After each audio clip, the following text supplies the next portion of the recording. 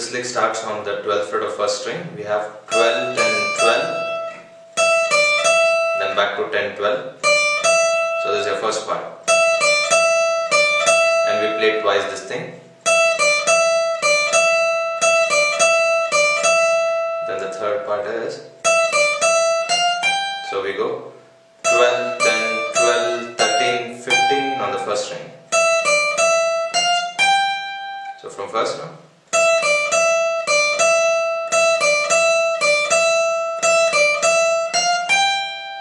Then down.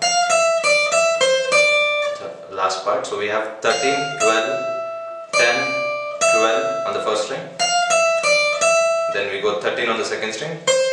Then we end on the first string 10th fret.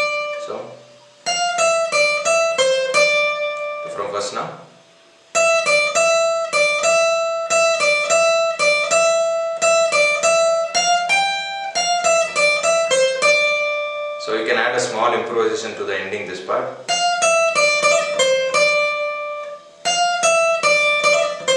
So we can have uh, add uh, 13, 12, 10, then again I hammer on and pull off from 10 to 12 here.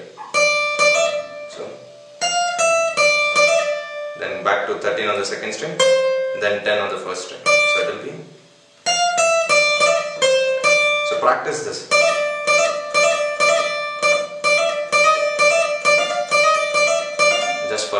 Exercise. So, from first now.